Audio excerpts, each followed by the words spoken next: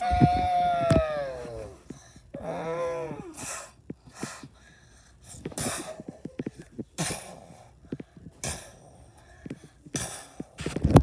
of a cave. Inside of the cave.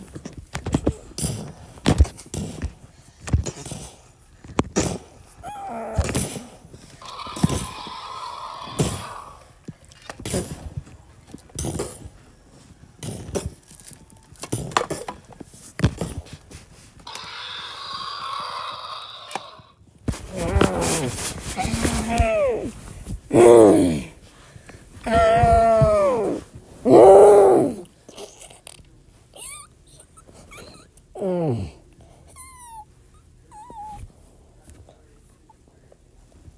that's being a good mom.